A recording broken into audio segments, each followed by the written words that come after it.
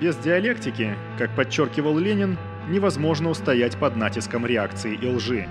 Поэтому мы все должны стать кружком любителей гегелевской диалектики и, опираясь на изучение истории, включая историю естествознания и техники и историю общественного развития, материалистически истолковывать диалектику Гегеля и использовать ее как могучий метод в борьбе за общественный прогресс.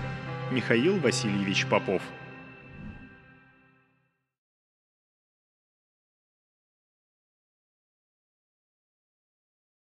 Здравствуйте, товарищи! Начинаем очередное заседание кружка любителей гегелевской диалектики.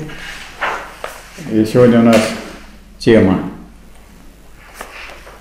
суждения необходимости,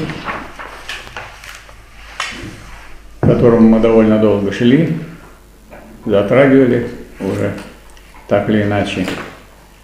Вот. Ну, мы находимся сейчас в таком месте, науки логики, который является, я бы сказал, наименее понятным для нас и непривычным.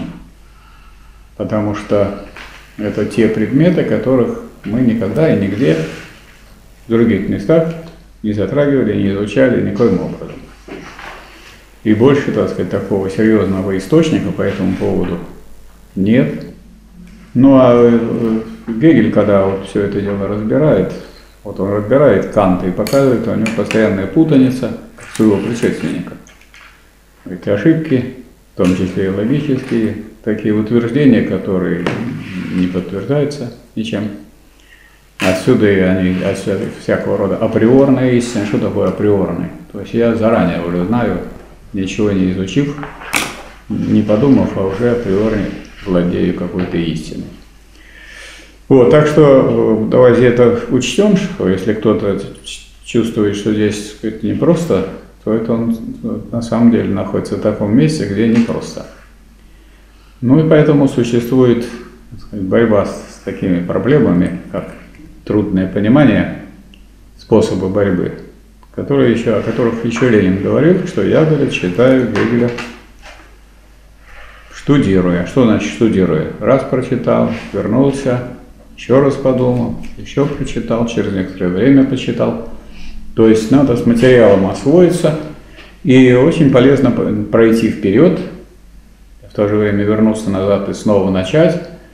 Ну вот, например, у нас сейчас тема суждения необходимости, а следующая тема будет суждение понятия. Ну, поскольку она у нас вроде не по теме сейчас, то, может быть, кто-нибудь из тех, кто сейчас впервые читает, это не читал. Но там, например, говорится о том, как связаны все вот эти суждения и ранжир соответствующий в самом начале. Вот, если вы откроете на 79-й странице D суждение понятия, то вы увидите там, что умение высказывать суждения на личного бытия, роза красна, снег бел и так далее – вряд ли будет кем-нибудь считаться обнаружением большой силы суждения. То есть это все правильно, но никакого тут, так сказать, великого дела нет. Суждение рефлексии. Суть больше предложения, чем суждение. То есть тут э, предложение, потому что о чем-то что-то утверждается, и все. Суждении необходимости предмет, правда, выступает в своей объективной всеобщности. Вот это уже другое дело. Так. Это не просто предложение, а предмет выступает не как вот предмет, о котором что-то говорят, а он в объективной всеобщности. А отсюда и вот название прошлого занятия «род», потому что это сказать, предмет какого-то рода, Значит, представляет собой какой-то вид. Вид не, не, не отличается от рода, потому что весь род состоит из видов. Правильно? И никаких таких э, представителей рода, которые не принадлежали ни какому-нибудь виду, нет. Да еще и вид обычно исчерпывается. Это вот может быть род попугаев, например. Род попугаев есть? Есть. А есть род без попугаев? Нет. А э, если их 25 видов, значит, э, вот они исчерпывают этот род. И в этом смысле, как соотносится один вид и другой? Ну, один есть особенное по отношению к этому всеобщему. Ну и другой вид особенный. Но если вы взяли какой-то вид попугая и взяли какого-то конкретного попугая этого вида, это уже второе отрицание. Первое отрицание, когда вы совершаете, вы берете не род весь, а вид. А потом, то есть на самом деле все это нам напоминает то, что мы с вами немало изучали, всеобщее, особенное и единичное. Всеобщее это что? Всеобщее, всеобщее. Оно представлено и в особенном, а особенное это первое отрицание, то есть это определенное всеобщее, не какое-то все, а не всеобщее, а определенное всеобщее. Там человек, может быть, мужчина. Ну так так мужчин-то очень много. Это тем самым вы ни на какого конкретного мужчины не указали, но указали на особенность. Ну а дальше, если вы укажете еще раз, возьмете отрицание, то есть определенно будете мужчину искать, так если второе отрицание, это что? Это возвращение к э, тому, с чего вы начали, возвращение к всеобщему. Поэтому всеобщее существует и как всеобщее абстрактное, и как всеобщее особенное, и как всеобщее единичное. А не так, что вот это вот единичное, это вот особенное, вот здесь вот всеобщее, такого нет. Можно сказать, что ничего нет, кроме всеобщего. Особенно в суждениях. В суждении вообще не, не запоминает ничего, что, что не повторяется. Правильно? То есть только тогда в языке что-то сохраняется и в там, понятиях. Тогда, когда оно повторяется миллионы, а то и миллиарды раз. Вот. Поэтому, ну, допустим, возьмем мы китайский иероглиф. Этот иероглиф сразу означает не только, что это одну вещь. Этой одной вещи, может быть, то и нет, ради которой он возникал. Или вторую, которую завтра произведут. Вот, или какой-то предмет, которого уникальный, которого нет. То есть он означает, э, вот с одной стороны, иероглиф, конечно, всеобщий. Э, и этот иероглиф означает все предметы такого-то рода. И хотя эта вот запись для нас нетрадиционная и непривычная, но для нас, ну, слово мы написали. Иванов, так у нас Ивановых очень много. Не можете вы о себе поподробнее? Пожалуйста, Иван Иванович. При этом далеко не ушли. У нас и Ивановых Иван Ивановичей тоже достаточно много.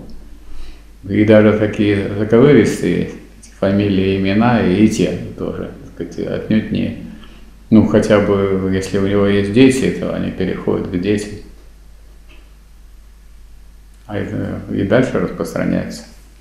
Так что вот смотрите, суждение наличного бытия, роза красна, снег бел и так далее, вряд ли будет кем-нибудь считаться обнаружением большой силы суждения.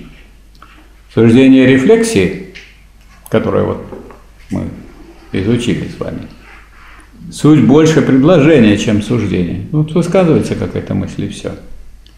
Суждение необходимости, которое является предметом нашего рассмотрения, предмет, правда, выступает в своей объективной всеобщности. Вот мы до этого дошли, и вот когда мы говорим о родах и видах, и началось это еще, речь об этом пошла в учении о суждение и рефлексии и продолжается в суждении необходимости о роде и виде. В суждении необходимости предмет, правда, выступает в своей объективной всеобщности, однако лишь в суждении, которое нам теперь предстоит рассмотреть, имеется соотношение предмета с понятием. А вот он, вы понимаете, куда мы подошли? Соотношение предмета с понятием. Как, какой категории? Истина. А? Истина. Истина, да, соотношение предмета с понятием или понятие с предметом. В этом суждении понятие положено в основании, и так как оно находится в соотношении с предметом, то оно положено в основании как некоторое должнослование. И мы вот, так сказать, на этом забежали вперед, и теперь больше забегать не будем, потому что у нас все-таки сегодня предметом рассмотрения является суждение необходимости. Значит, вот возвращаемся к нему, обсуждению необходимости, а перед ним, перед ним как раз говорится то, что мы с вами рассматривали, поэтому мы окружили тот объект, который нам нужно понять со всех сторон, и со стороны дальнейшего, и со стороны предыдущего. Со стороны предыдущего говорится, поскольку это тождество снова расщепляется в некоторые суждения, субъект и предикат соотносятся друг с другом через внутреннюю природу. Это соотношение необходимости. То есть, посмотрите, до того, как буква С появилась, суждение необходимости, уже разговор про необходимость пошел. Ну, потому что разговор, когда мы до нее дошли, до необходимости, потом ее рассматривают в специальном месте. Соотношение необходимости, в котором указанные определения суждения суть лишь несущественные различия. То, что присуще всем единичным вещам какого-нибудь рода, в силу их природы, присуще и роду. Поэтому э, род никак не изолируется от тех вещей, которые составляют этот род. Причем он не просто не изолируется, а в силу их природы самих вещей. Если это вещи какого-то рода, если это грузины, так они и есть грузины. И ни от каких их грузунов они не изолируются. И от рода они не изолируются. А тем не менее, грузунов много. И мыши, и крысы, и, так сказать, и самые разные так сказать, грызуны, которых мы знаем еще. Вот непосредственный вывод и выражение того, что получилось раньше, а именно того, что субъект, например, все люди, совлекает в себя свое формальное определение, и вместо «все люди» следует сказать «человека». Же здорово. То есть мы это, конечно, слово «человек» знаем давно, и можем так, и говорим «человек». Какого человека вы имеете в виду? Имеется в виду род человека род людской. Это в себе и для себя сущая взаимосвязь составляет основу нового суждения, суждения необходимости. То есть, когда речь идет о суждении необходимости, то здесь такое соотношение, как э, соотношение рода и видов этого рода. И вот что мы наблюдаем, какие есть виды суждений тут разбираем. Категорическое суждение, да? Гипотетическое суждение, разделительное суждение. И зачем мы так все это разделяем, чтобы легче было понимать. Начинаем мы с того, что такое категорическое суждение –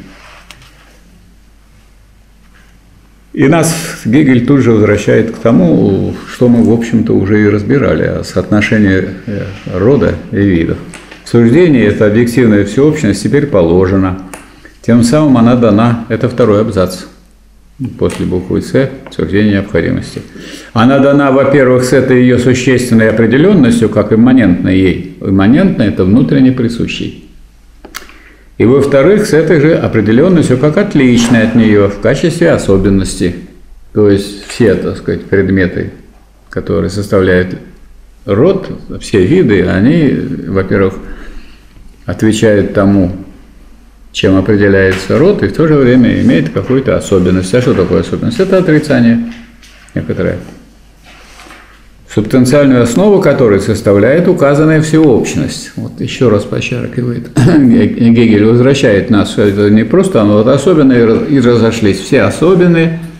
Это, это особенное, но такая особенность, субстанциальную основу которой составляет указанная всеобщность. То есть эта особенность базируется на всеобщем, а не на, а не на том, что представляет что-то другое. Поэтому если это люди, так они, каждый из них есть человек. Можно сказать, каждый есть человек, это есть всеобщность. Вот вы человек, Вячеслав Михайлович, у вас нет сомнений? И у нас тогда нет сомнений. Но если бы вы засомневались, мы подумали бы тогда. Так. Вот посмотрите, категорическое суждение. И вообще вот эта терминология, посмотрите, она нигде в, в заголовках не присутствует насчет рода и видов, а терминология сугубо материалистическая. Роды, роды – это роды, порождение. То есть это вот, вот мы-то здесь рассматриваем э, как мы договорились с вами, материалистически изучать э, понятия. Сначала у нас там жизнь была, и род там был. Поэтому мы, и это тогда рассмотрение этих вот категорий тоже представляет собой вполне материалистическое рассмотрение. А до этого как, вот, как, как стоит у Гегеля? Там все эти куски очень хорошие, но они стоят рановато, так сказать. Как можно говорить о понятии до человека? А он же довел все-таки, там у него есть жизнь, так, и человек. И ну, да, вот человек как раз обладает чем? Понятиями. Они проявляются в суждениях. Суждения сказать, потом могут быть связаны с постановкой целей или постановкой целей суждением. А человек, который реализует какие-то цели, он осуществляет тождество того, что он задумал, понятие, и того, что получилось. А это уже более высокая истина. Только есть истина, которая состоит в том, чтобы верно отразить действительность, а есть истина, которая связана с преобразованием. И у того же Гегеля мы видим, читаем, что вот плуг почтеннее, чем то зерно, которое с помощью него добыто. Потому что зерно, так сказать, тоже будет использовано, потреблено, а лук продолжает давать ну, в руках, как, естественно, работника, все новые и новые зерна.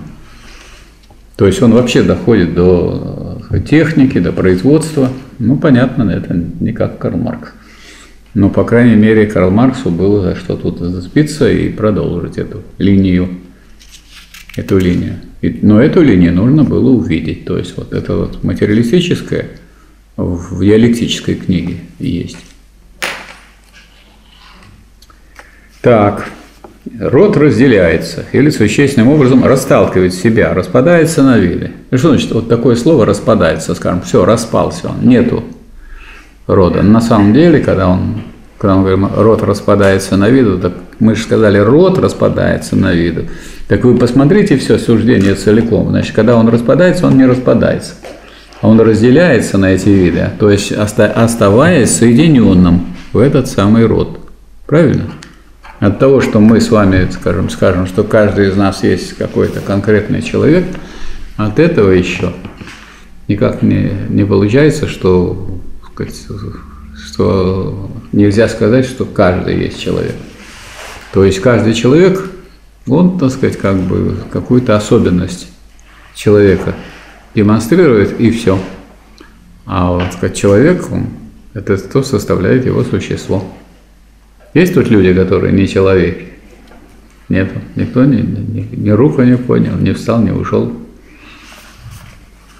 Так, род разделяется или существенным образом расталкивает себя, распадается на виды. Он есть род лишь постольку, поскольку он объемлет собой виды. Потому что все виды входят в этот род. Вот что значит все исчерпывающие должно быть.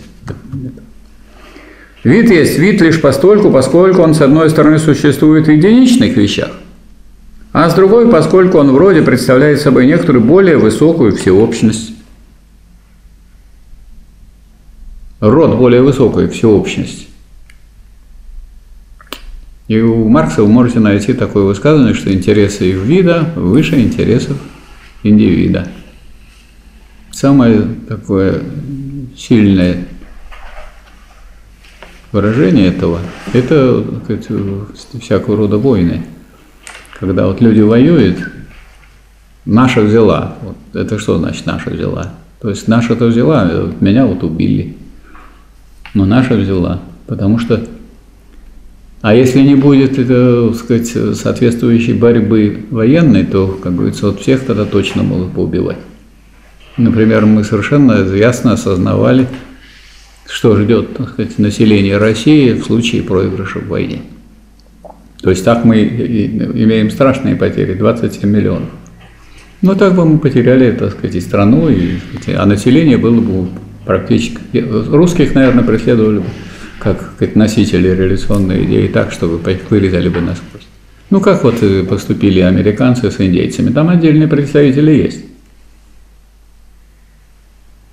Есть люди, которые, да, вот они индейцы американские.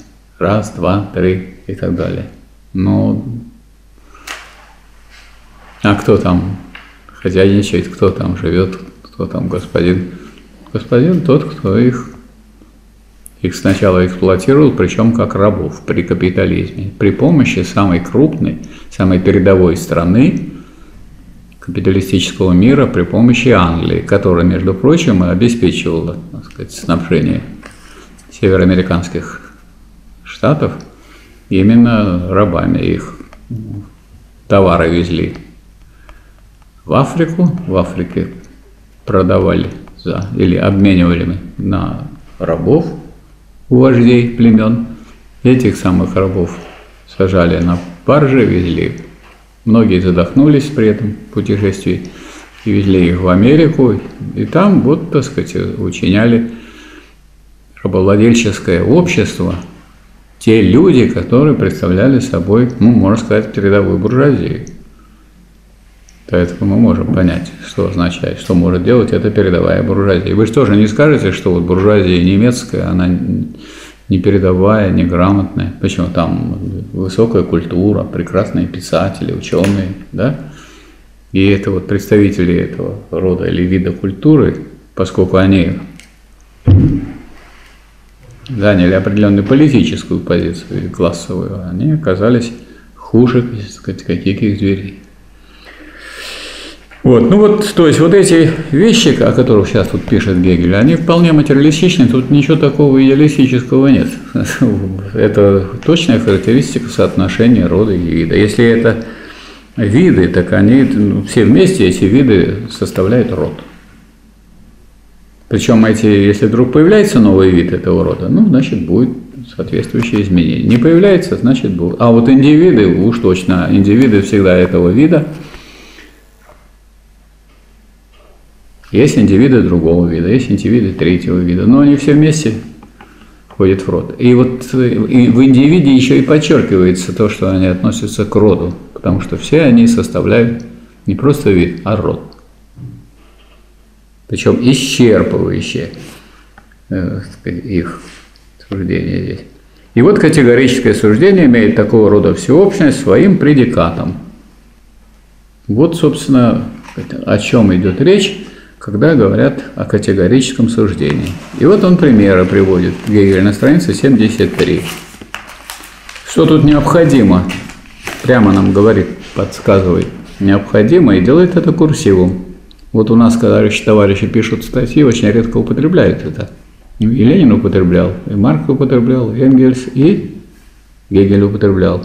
Но что тут необходимо с курсивом? Это субстанциальное тождество субъекта и предиката – субстанциальное тождество, не то, что они вот, так сказать, одно и то же. Мы знаем, что тождество – это тождество различного, так что тут нас не удивишь ничем. Но тут тождество имеется в виду субстанциальное, у них общая сущность. А тождество, вот, и, собственно говоря, и, и находится в учении о сущности, понятие тождества. Что тут необходимо, это субстанциальное тождество субъекта и предиката. Вот когда и он берет э, вот такие суждения, которые претендуют на категорическое. Роза красна – это категорическое суждение. Ну, даже нехорошо это дело вот, э, говорить, что оно категорическое, потому что, ну, красна, может быть, бела, а может быть, она розового цвета и так далее. Тут ничего субстанциального нету в этом. Это э, цвет лепестков, больше ничего. А вот Роза есть растение, ну, это да, это совсем другое дело. Роза есть растение, это субстанциальное тождество. Тогда эта роза, будучи розой, она уже теперь в единстве субстанциальном, то есть существенном, со всеми другими растениями. И в противоположении находится с животными. Хотя мы знаем, что есть такие случаи, когда некоторые растения ловят животных и поедают. Вот э, большие такие растения и красивые, в виде таких кувшинов, куда ли залетают э, мухи и так сказать, другие, так сказать, какие-то насекомые. Они там прилипают и потом закрывается этот кувшинчик, и потом растворяется это, то, что залетело. Ну и развивается это растение. То есть это, так сказать, то, что растение превращает более высокое в себя. То есть делает растительным. В элементы своего бытия. Вот. Но вот таких растений такого рода, например, в Ленинградской области полно на болотах. Имеется такая росянка, ну, сантиметр, сантиметр полтора такие листики, на них такая капелька росы. Ну, вот муха туда садится или комар. Но это не капелька росы, она выглядит капелька росы, это капелька клея. Ну, приклеилась. После этого так, эта самая рука, если бы это было в большом размере, это страшное было бы фильм можно было страшный ужас показать. Вот она так тихонечко закрывается, потом открывается, тоже так же долго открывается, может быть, день будет открываться. И нету того, что было. Фокус. То есть растение, будучи ну, чем-то другим совсем, вот, оно использует это как пищу. Но растения и животные в субстанциальном тождестве не находятся. Вот. Потом мы знаем, что растения, большинство, используют дневной свет, солнечный свет для того, чтобы выращивать в хлорофилловых зернах белок. Вот. А у всех животных такой недостаток, что они этим свойством не обладают. Им нужно потреблять белок уже более низкого уровня, чтобы строить свой белок. Из животного белка и растительного белка. Ну а грибы что такое? Ну это вот так, граница между животными и растениями. То есть, с одной стороны, они не, могут, нет никаких хлорофилловых зерен, и, как вы знаете, шампиньоны где выращивают? Ну, под, под землей, там, в темноте. Температуру обеспечивают, там, опилки, и раз-два, и вот они грибы продают. И тут деньги пошли. И не надо никаких ни, ни берез, ни сосен. Понятно, что не белые грибы так не, не живут, не, не другие благородные грибы, а шампиньоны эти, пожалуйста, во Вот. Поэтому здесь очень важно, что говорится, что тут необходимо. Это субстанциальное тождество субъекта и предиката. Вот если есть Э, такое тождество, субстанциальное, то есть сущностное. Субстанция – это ведь откуда категория взята? Где она находится? Субстанция находится в учении о сущности после действительности. Есть субстанция, а ей соответствует на поверхности что? Товарищи, члены кружка, изучавшие учение о сущности. Какая вторая категория соответствует субстанции? Так, точно, Назаров? Вот, спасибо, товарищ Назаров. Отлично. Всем остальным хорошо. Было всего две оценки. Хорошо и отлично. Один человек получил отлично, остальные хорошо. В данном случае тогда оценка хорошо будет отрицанием Оценки отлично. Так. Ну вот он прямо предлагает на выбор. Роза красная и роза есть растение. Ну что вы сказать, скажете, что является осуждением необходимости? Конечно, роза по необходимости есть растение. Что бывает роза не растение? Не бывает. Тут даже и думать нечего. Или это кольцо желтое. Да кольцо можно покрасить сейчас, так сказать, из чего угодно сделают и во что угодно покрасят. Правильно? Поэтому никакой субстанциальности даже рядом нет. А вот оно есть золото, ну, это тогда золотое кольцо, и тогда ясно, что золотое кольцо отличается от других. В том числе и по той простой причине, что золото, оно ну, инертно, оно, от него не будет никаких там болячек от того, что у него вот какая-то окалина и еще что-нибудь подобное.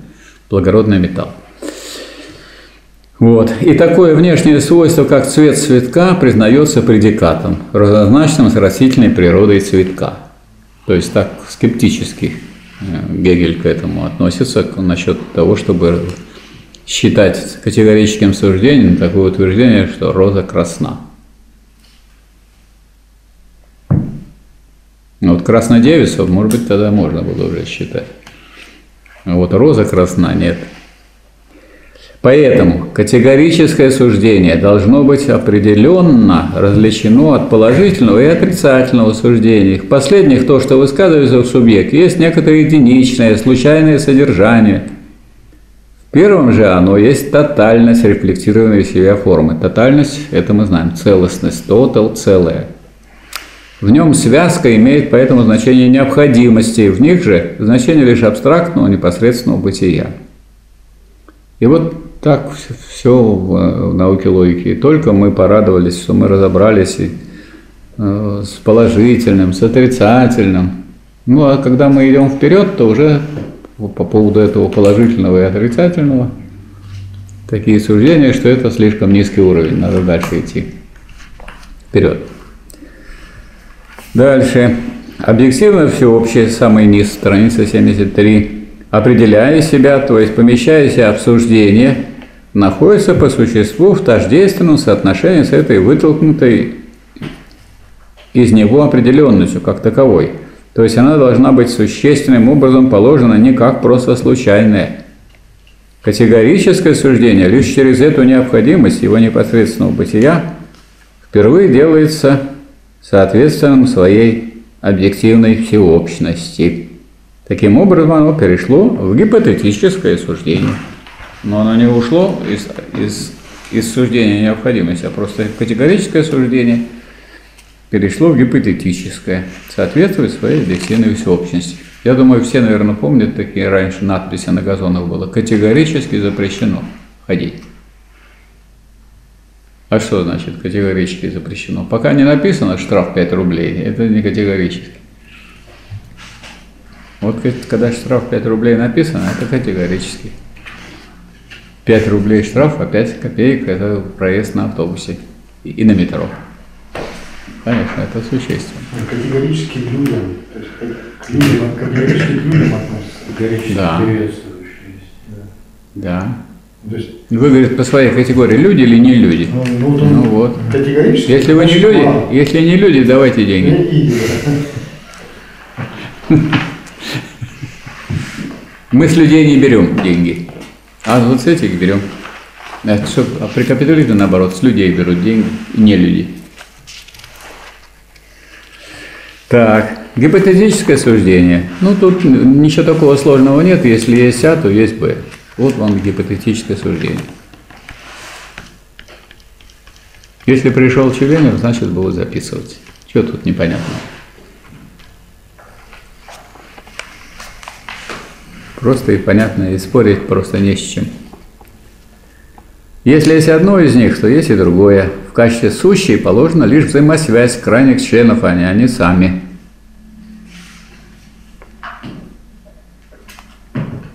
А тут, видишь, он намекает на то, что тюлень просто так не приходит. Он приходит, если кружок на самом деле будет. А так просто по городу шататься – и кто-то будет думать, что если вот появился Тюленев, то будет записывать, он глубоко ошибается. Что он находится на самом деле во внутренней категорической связи с кружком в данном случае, который записывает. Вот, и снова нам он как бы облегчает жизнь, вот, возвращаясь к тому, что раньше было – Э, в гипотетическом суждении бытие конечных вещей положено понятиям, согласно их формальной истине, а именно положено, что конечное есть свое собственное бытие, но в такой же мере и не собственное, а бытие некоторого другого. В сфере бытия конечное изменяется, оно становится некоторым другим. В сфере сущности оно есть явление – причем положено, что его бытие состоит в том, что в нем светится некоторое другое, и что необходимость есть внутреннее, еще не положенное как таковое соотношение. Понятие же состоит в том, что это тождество положено, и что сущее есть не абстрактное тождество с собой, а конкретное тождество, и непосредственно в себе самом бытие некоторого другого. Вот в том, что я прочитал, это содержание науки логики всех трех томов. Так? Ну, краткое содержание. Скажем, можно взять вот это и вынести на, при издании куда-нибудь на, на обложку, и все. Вот и, собственно, что тут такого страшного. Ну, какие-то детали мы не, не поймем, а главное схвачено. То есть Гегель все-таки сначала кажется, что ну, это страшно, страшно тяжело, страшно очень такая тяжелая книга. Но ну, дело в том, что материал такой сложный, а Гегель все делал для того, чтобы как-то жизнь облегчить читателям. И даже вот все время он напоминает, сравнивает с предыдущим, и здесь показывает, как это делается. Гипотетическое суждение, это значит последний абзац на 74 странице, можно посредством применения рефлективных отношений брать более определенно, как отношение основания и следствия, условия обусловленного, причинности и так далее. И увязывает с тем, что мы до этого уже знали и освоили. То, что поистине положено в этом суждении, это конец этого разделчика перед разделительным суждением – это всеобщность как конкретное тождество понятия, определение которого не имеет самостоятельного устойчивого наличия, а суть лишь положенной в ней в особенности. Что значит положенное? Положено то, что в отрицании находится. А это вот телефон ваш, Вячеслав Михайлович, или это просто положено? Я положил. Вы положили. Но если вы положили, то и другой же может положить. А прежде чем положить, можно и взять же. Согласитесь. То есть положено, раз вы положили рядом с собой, это, кажется, что положено, это утверждение, это я положил. Но раз я положил, вы сами его отложили от себя. Теперь он может быть взят другим. Вот у меня в кармане мой телефон, он не положен. Здесь, думаю, не возьму. Ну, в некоторых компаниях так и бывает, в незнакомых сидят человек, пришли, немножко закусили, выпили, потом посмотрели телефон, а нет кошелька, нет. Но кошелек не был положен, а телефон был прям положен. Так. Ну а дальше опять понятное. То есть я чем вижу свою миссию как руководителя крышка, объяснить, что все очень просто и понятно написано. Хотя мне все равно не верят люди. Значит, разделительное суждение – ну, что тут непонятно. В категорическом, опять повторяет Гегель, в категорическом суждении понятие выступает как объективная всеобщность и некоторая внешняя единичность. То есть берется какая-то всеобщность глубинная и некоторая внешняя единичность в категорическом суждении. То есть повторяет то, что мы уже прошли.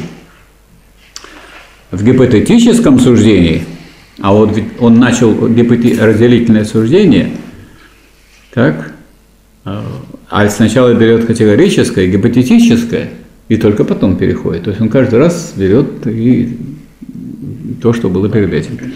В гипотетическом суждении на фоне этой внешности понятие выявляется в своем отрицательном тождестве. А разделительное суждение дальше есть поэтому объективная всеобщность, положенная вместе с тем в соединении с формой. Оно содержит в себе, следовательно, во-первых, конкретную всеобщность или род в простой форме. Опять род этот вышел. Вот нигде в заголовках у него рода нет. Вообще, род вообще категория глубоко материалистическая, конечно.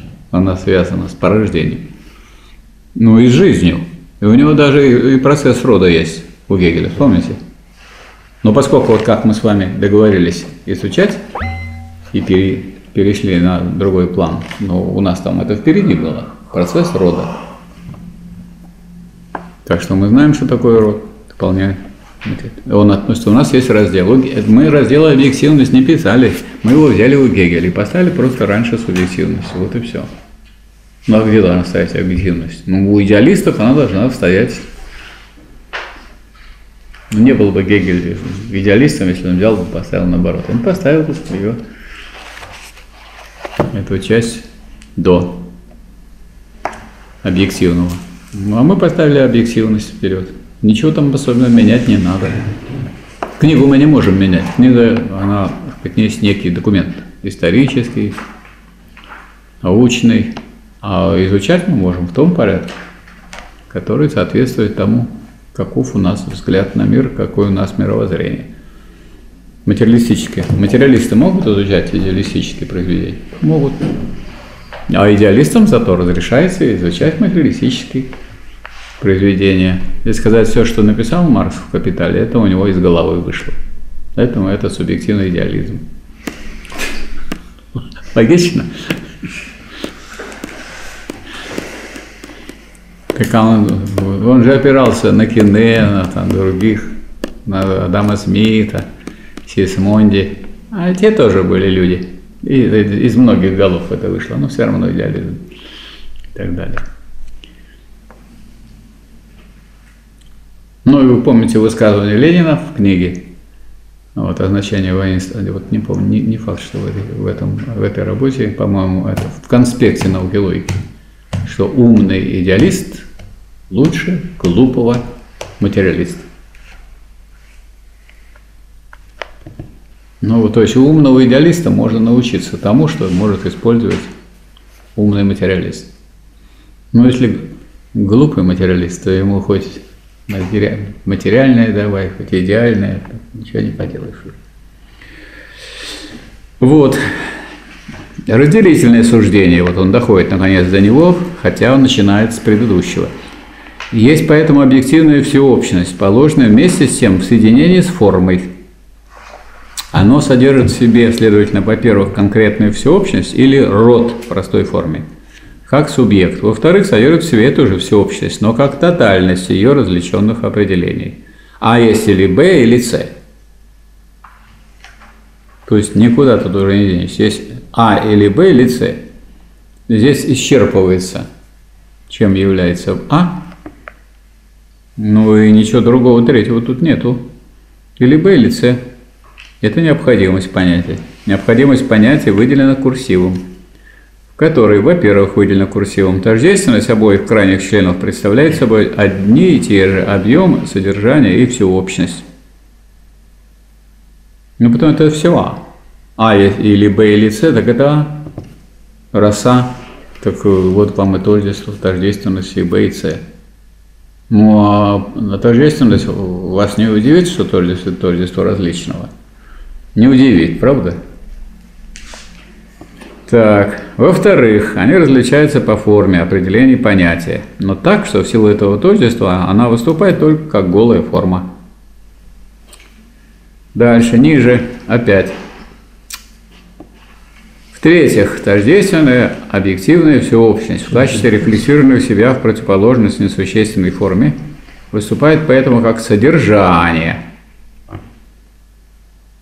Всеобщность выступает как содержание – вот это А, который, однако, обладает все самым определенностью формы, в одном отношении как простой определенностью рода. И опять род. Вроде бы здесь ни, никаких в заголовках никакого рода нет. А посмотрите, мы в, раньше с предыдущим в, в учении о рефлексии, и здесь ну, понятие суждения необходимости, мы все время встречаем этот самый род. В одном отношении как простой определенностью рода, в другом отношении как той же определенностью, развитой в ее различии. То есть это тот же род, но взятый как вид. Ну, род это же вид, но не единственный вид. Какой? Любой вид это, то, это тоже род. Потому что род это всеобщее, а вид это уже особенный. Вот. В другом отношении, как той же определенностью, развитой в ее различии. Взятая, как это последнее, она есть особенность видов, их тотальность, всеобщность рода. Тотальность. То есть целостность. Целостность обеспечивается видами. Род состоит из видов. Вот это все целое. Нельзя э, изъять виды, чтобы остался род. А если род пропадет, то и видов не будет. То есть это все одно, целостность. Тотал, целое. Вы за тоталитаризм или против тоталитаризма? Я за тоталитаризм. То есть вы хотите, чтобы было бесплатное образование у всех?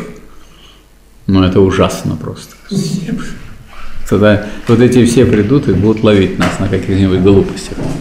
А так есть безграмотные люди, как бы сказать, вы ничего не понимаете, у вас не хватает образования. Поэтому это страшный тоталитаризм, конечно, всеобщее образование. А всеобщая медицина вообще некуда деньги потратить. Все бесплатно. Были же люди, которые жили всю жизнь, ни копейки не потратили на медицину. Вот я имею в виду себя.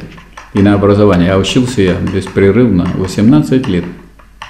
11 лет в ВУЗе, ой, простите, в школе, потом 5 лет в ВУЗе, 11 плюс 5. Сколько? 16. И 3 года в аспирантуре. 16 плюс 3. 19 лет. Бесплатно меня обучал государство. Какое? Рабочего класса. Некоторые люди, которые тоже в это время получили образование, пытаются свое образование использовать для того, чтобы вытаскивать денег из, из тех, кто обеспечил им это образование, из трудящихся. Так, тотальность, короче говоря. Особенность ее развития образует предикат, так как она есть постольку более всеобщее, поскольку она содержит в себе не только всю всеобщую сферу субъекта, но и ее расчленение на особенности, ее обособления. При ближайшем рассмотрении этого обособления мы убеждаемся, во-первых, что род образует собой субстанциальную всеобщность видов. Поэтому субъект есть как Б, так и С. Люди – это и мужчины, и женщины. И никуда тут не денешься от этого. А если не будет мужчин и женщин, хотя сейчас есть некая мода, дескать, давайте будем семьи образовывать из мужчин. Или женщин, или мужчин с собакой, женщин с кошкой – и так далее. У Энгельса однозначно этот вопрос решен в работе происхождения семьи, частной собственности и государств. Нет, он очень просто решил вопрос. Я, говорит, буду говорить о половой любви, а если вы там к чему-то к другому, у вас любовь к там, ну есть же там любовь к, к собаке, любовь к кошке, любовь к кому, к чему угодно, может, к апельсинам. Мало ли какие могут быть виды любви. Люблю я это дело. Какое? Вот это. Ну, и для этого семья может быть бутылка и я, и вот и семья. Ну, почему? Я не понимаю. Если уж пошли расширять, так тут дальше. Потому что Энгельс вот ограничил это. Вот. Есть половая любовь, которая связана с воспроизводством человеческого рода. рода. А все, что не связано с воспроизводством человеческого рода, вы можете слово «любовь» говорить, но не надо играть в то, что вы значит, семьи будете образовывать. С табуреткой сделайте семью, пожалуйста. Но регистрировать государство не будет. Наше пока еще не регистрирует, но в других государствах уже регистрируют такие вещи. У нас два, два артиста нашлись, которые поехали в Швецию, там зарегистрировали брак двух молодых людей. И приехали в МФЦ, сдали им, поставили там в паспорте, поскольку он зарегистрирован там. Но это дело дошло до более высоких инстанций, все это дело им испортили, всю эту славную семью разрушили. Звери. Ну, известно, это тоталитаризм, следы или плоды это тоталитаризма ужасные. Так, если бы род был некоторой абстрактной всеобщностью, как в суждениях наличного бытия, то виды тоже следовало бы брать только как разные и безразличные друг к другу. Но он есть не такая внешняя всеобщность, возникающая лишь через сравнивание и отбрасывание, а их имманентная и конкретная всеобщность. Что такое имманентная? Внутренне присущая – А есть либо Б, либо С, либо Д и так далее. Потому что Б, С, Д и так далее были преднайдены. Тут нельзя, собственно говоря, высказывать никакого или-или. Ибо такие виды образуют собой лишь как бы субъективную полноту. Один вид, правда, исключает другой, но или-или исключает всякий дальнейший вид и замыкает в себе некоторую тотальную сферу. Тотальную сферу, вот все. Вот все виды есть попугаев, вот и все. Если появится новый вид попугаев, ну тогда сфера будет другая, целого. А род попугаев будет вот таким. Эта тотальность имеет свою необходимость в отрицательном единстве объективно всеобщего. А почему отрицательное единство? Ну, потому что если этот вид, так он отрицает другой вид, понятное дело. Тут никак по-другому не может быть. Вот так называемые контрарные и контрадикторные понятия должны были бы, собственно говоря, найти себе место именно здесь. Виды контрарные, поскольку они лишь разные, а именно имеют некоторые в себе и для себя сущее устойчивое наличие через род. Страница 76 внизу. Как представляющие собой их объективную природу. Объективную природу. Обратите внимание, товарищи материалисты. В суждении о понятии говорится об объективной природе. Но каждое из этих определений, взятое само по себе одностороннее, лишено истины В или-или разделительного суждения положено их единство, как их истина, согласно которой указанное самостоятельное и устойчивое наличие, как конкретная всеобщность есть также и принцип того отрицательного единства, в силу которого они взаимно исключают друг друга. Принцип один, а виды разные. Отсюда и категоричность. Или вы, или такие, или такие, или такие. Больше никого нету. В честь, больше не пропускаем никого. Так. И дальше середина страницы 77. Когда род выступает как конкретная, существенно определенная всеобщность, то он, как простая определенность, есть единство моментов понятия. Моментов понятия. А мы знаем, что такое момент. Это не части и не куски. А это, так сказать, то, что неотделимо от целого и составляется другими моментами этого целого, само целое. Имманентность можно? А? Имманентно? Имманентно, да. Когда род выступает как конкретная, существенно определенная всеобщность, то он, как простая определенность, есть единство моментов понятия, которые в указанной простоте лишь сняты, но имеет в видах свое реальное различие. Поэтому род постольку есть ближайший род некоторого вида, поскольку последний имеет свое специфическое развлечение в существенной определенности первого, и виды вообще имеют свое различное, различенное определение как принцип в природе рода. Значит, я вам докладываю, что фонд рабочей академии по- получил, э, внесен взнос 100 рублей. Товарищ после того занятия, которое у нас было посвящено, в том числе и роду, написано «За род», и род большими буквами. Так что, ну, мы вывешиваем все на сайте Московского отделения Фонда рабочей академии, все, все пожалования, так сказать. Вот. Так что нас материально поддержал народ, потому что мы, потому что он дал 100 рублей за род. И мы благодарны этой помощи. Дело не в количестве, а в том, что поддерживают материально. Некоторые говорят, правда, по-другому. Дело не, не в деньгах, а в их количестве. Но мы считаем наоборот. Поддерживают, если народ нашу деятельность, это хорошо. Ну, народу много, поэтому потихонечку и поддерживают. Если каждый 100 рублей. Да, это вот страшные миллионы пошли. Страшные просто. Ну вот. Так что ну, я должен э, сказать, что мы тут продвигаемся вот в этом деле. В этом, в этом же втором абзаце на странице 77 говорится, поэтому род постольку есть ближайший род некоторого вида, поскольку последний имеет свое специфическое развлечение суще- существенной определенности первого, и виды вообще имеют свое различенное определение как принцип в природе рода. То есть природа рода одна, а развлечение есть. Правильно? Тут есть разные э, напитки, построенные на, на, на спирте. Ну, ну, природа одна, Алкоголь. алкоголь. Выпьешь много и не соображаешь ничего. Так что, а видов очень много.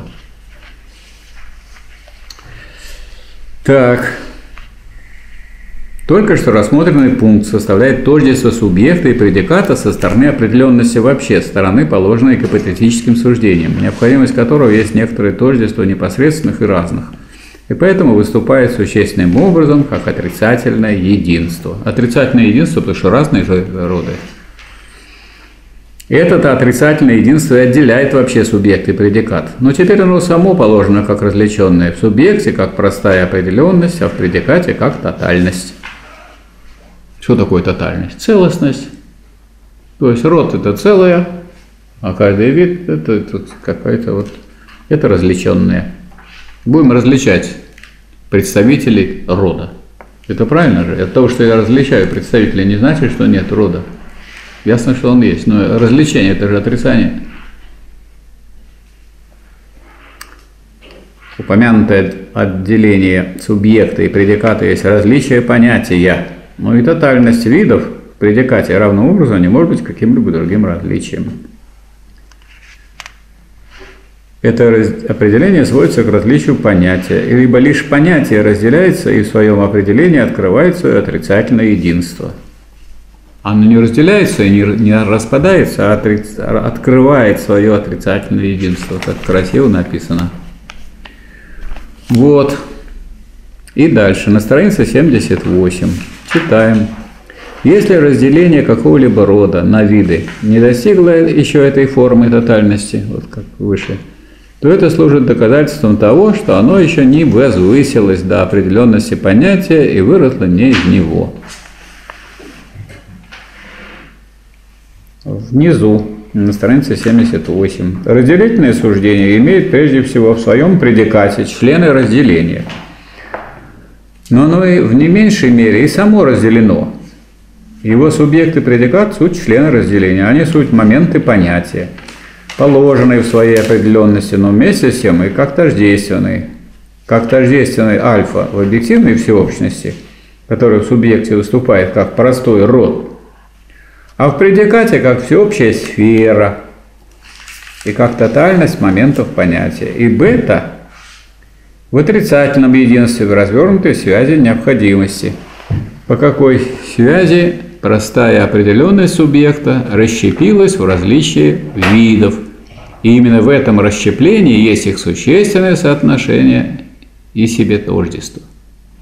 Это единство, связка этого суждения, в котором крайние члены в силу их тож- тождества слились воедино, есть, стало быть, само понятие, и при том, как положенное простое суждение необходимости. Тем простое суждение необходимости тем самым возвело себя в суждение понятия. И мы дошли до суждения понятия, и первый абзац этого суждения понятия мы уже изучили. Потому что первый абзац этого суждения понятия и повторяет тот путь, по которому мы уже прошли. Вот скажите, что после этого э, непонятная книга. Не скажете. Не сразу понятная. Ну и не только не сразу, но и не со второго раза, не с третьего, ну, понятная книга. Почему понятная? Потому что о понятии. Ну вот, собственно говоря, мы с вами задачу, которую должны были решить, разобрать суждение необходимости, мы решили. То есть мы сделали то, что необходимо. А больше, кроме того, что необходимо, ничего не сделали и не успеем.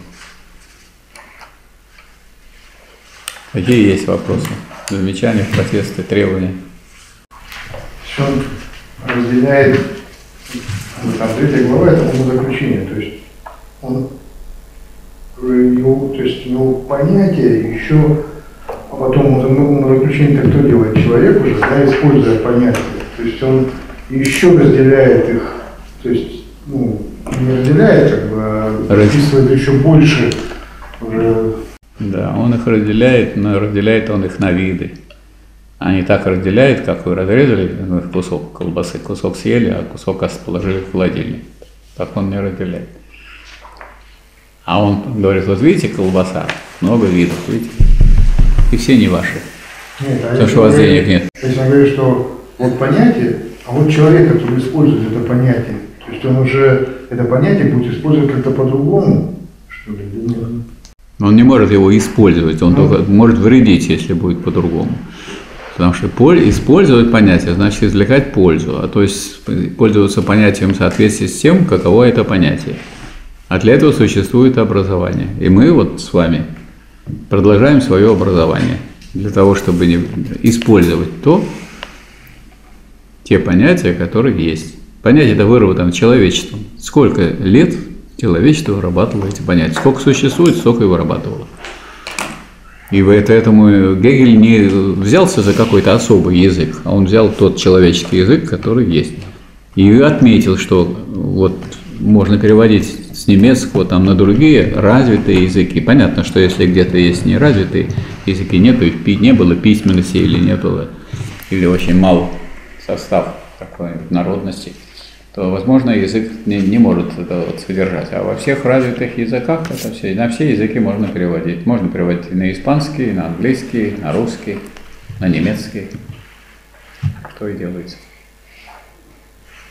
То есть э, мы должны понимать, что когда вот что-то разделяется, ну, оно, это, оно и существует как разделенное, а в то же время соединенное. Как ну, человечество. Человечество состоит же из отдельных людей, или не из отдельных, или они или из сиамских близнецов состоит.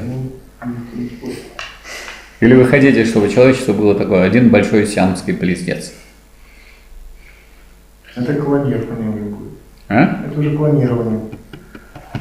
Нет, клонирования вообще не будет. Клонирование Нет, это такая вещь, которая, которая, поскольку человек так развивается в обществе, поэтому даже если вы будете физиологически э, тождественны, то в силу тождества, которое есть тождество различия, в силу того движения жизни и воспитания, которое будет, никогда не будут люди абсолютно тождественны. Поэтому это вот то есть люди говорят про этих клонов совершенно безграмотные. Ну, как вот близнецы. Ну, близнецы, это, они действительно, они есть однояйцовые близнецы, то есть один к одному почти. Но они разные люди, конечно. Разные люди, и у них разные, может быть, специальности, и характеры могут быть разные, все что угодно. Все зависит уже от дальнейшего развития, потому что становление, скажем... Человек это продукт. А? Человек продукт э, образования. Обстоятельства, воспитания. Да. А, а некоторые думают, что если вот он родился такой же вроде, его брат или сестра, то будет то же самое. Не будет. Значит, тема следующего занятия, дорогие товарищи, суждение понятия. У нас как раз изучаем мы учение понятия, и вот дошли до суждения понятия. Красота. И тут вот, когда доходит до чего-то более высокого, тут вот Гегель, Гегель показывает, что то, что вы раньше проходили, это все не... Вот, вот то, что надо вот изучать. Вот, вот оно, наконец. И опять мы с вами, раз мы еще его не проходили, как мы обездолены, пока мы это не изучим. Но надо же как-то побудить желающих изучить диалектику, так сказать, подняться на этот уровень. Поэтому никто никому не запрещает, и членам кружка, и тем, кто смотрит занятия этого кружка, их много смотрят людей. Посмотрите, сколько посмотрело вот прошлое занятие. Там две с половиной тысячи, по-моему, да? Что-то очень много там посмотрел. Вот, поэтому никто и не запрещает им вот читать тут и про серторическое суждение, и проблематическое суждение, и аподиктическое суждение – вот я как раз вот это читал, и мы с э, товарищем Пучковым много роликов записали про диалектику. А он обычно начинает всякую встречу с того, что говорит, я вас категорически приветствую. А когда я до сюда дошел, я, думаю, я вас аподиктически приветствую. И так вот, посмеялись. Получается, он категорически приветствует вас как человек человека, да? Потому что да, он, да, он, мы же люди одного рода, одного рода. Да. 2700 посмотрели. А для какого рода? Вот, например, Пучкову к нему приставали, что вот вы же построили свою организацию как э, капиталистическое предприятие. Но это так и есть. А как иначе? Сейчас никакого, никакого другого ну, способа что-то. Надо нанимать работников, надо платить им зарплату, надо отчитываться перед налоговой и так далее. Пучков нахмурился и говорит, да, коммунизм это мой бизнес. товарищи откатились, которые хотели его уязвить. Коммунизм это мой бизнес. А бизнес это же дело. Вот тут бизнесмены, они делом занимаются, изучают диалектику. Бизнесмены это кто такие? Деловые люди. Не бездельники какие-нибудь, а деловые люди. Деловые люди Значит, сейчас изучают науку логики Гегеля. А бездельники вот в шалмане там где-то, в ресторане, охмуряют себя, чтобы, так сказать, последние остатки ума из себя вывели. Так что, как посмотреть? Во всяком случае, те, кто изучает науку логики Гегеля, обездоленными никак не могут себя чувствовать. Наоборот. У людей, так сказать, конечно, изучающих диалектику все время пребывает Я даже смотрю по вот э, по счетчику на краткий курс науки логики Гегеля, который я прочитал, пособие по изучению на Академии смыслов Лоббио, ну, там уже 171 тысяча. 170 там было, 100, потом 120, 140, 150. Но это уже много очень просмотров. 171 тысяча. И так народ шутит, что да, короткий, краткий курс, 4 часа 40 минут. Ну, все познается в сравнении. Значит, дорогие товарищи, желаю вам успешного изучения дальнейшего науки логики Гегеля. Мы с вами встречаемся ровно через две недели. Здесь же будем проводить очередное занятие по теме суждения понятия. 9, 9 ноября получается. А? 9 ноября Да. Это ноября. или 16. Посмотрим. Так. Да, вот. Второй вторник должен быть. 9 ноября. Ну вот лучший способ отпраздновать юбилей Великой Революции – сосредоточиться на нерешенных задачах, говорил Ленин. Ну вот, как раз тут все для вас сделано. И президент э, время освободил для подготовки к занятиям кружка. Поэтому я не знаю, можно только вот радоваться. Все сделано. И вам не ходите на работу, сидите, читайте науку логики. Никакого ковида не будет. Если все бы сидели, читали бы, не болтались по ночным ресторанам. Так что мы скоро выйдем с инициативой, надо расширить изучение. Собственно, оно идет само расширение. Мы вот тут как бы заправку даем, а все остальное это и самотеком двигается. А это все представители одного и того же рода, из рода диалектиков. Он уже этот род диалектиков, таких любителей диалектики, а у нас так называется, кружок любителей Гегельской. Это кружок, он здесь представлено только малая очень толика, а он ну, уже подходит ко второй сотне. И это хорошо. Кто-то отметил, что уже прошло сотое занятие кружка по науке логики. Прошлое было сотое. Ну, если через 100 занятий уже 170 тысяч просмотров. Разве плохо это? Я считаю, нормально, хорошо. Спасибо за внимание, успехов. До свидания.